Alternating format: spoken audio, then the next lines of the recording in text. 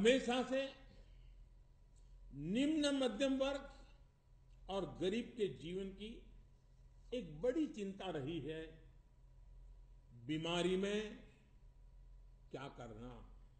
बीमारी का इलाज। बजट में प्रस्तुत की गई नई योजना, आयुष्मान भारत। इस आयुष्मान भारत योजना समाज के इन सभी वर्गों को,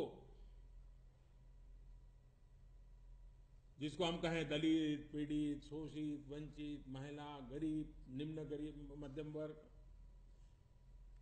इन सबको बीमारी की जो आफत आ जाती है, उससे मुक्ति दिलाने की, उससे चिंता कराने, चिंता से मुक्ति दिलाने का एक बहुत बड़ा कदम है। इस योजना का लाभ देश के लगभग 10 करोड़ गरीब और निम्न मध्यम वर्ग के परिवारों को मिलने वाला है। यानी करीब करीब 45 से 50 करोड़ नागरिक इसके लाभार्थी बनेंगे,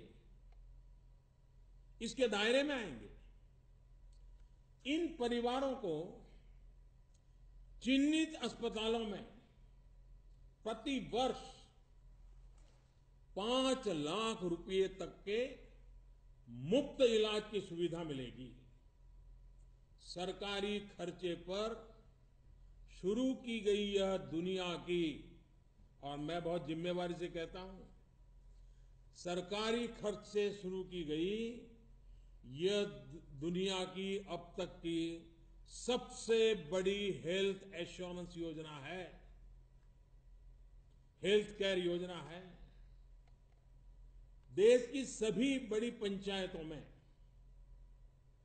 लगभग डेढ़ लाख हेल्थ वेलनेस सेंटर की स्थापना का करने का कदम भी बहुत ही प्रशंसनीय है।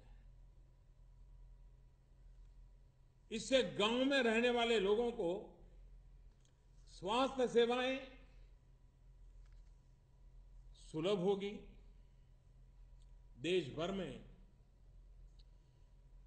24 नए मेडिकल कॉलेज की स्थापना से लोगों को इलाज में सुविधा तो बढ़ेगी ही।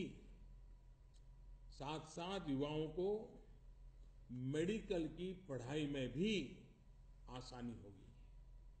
हमारा प्रयास है कि देश के हर तीन संसदीय क्षेत्रों के बीच, तीन पार्लियामेंट्री कॉन्स्टिट्यूंसी के बीच, कम से कम एक मेडिकल कॉलेज अवश्य हो।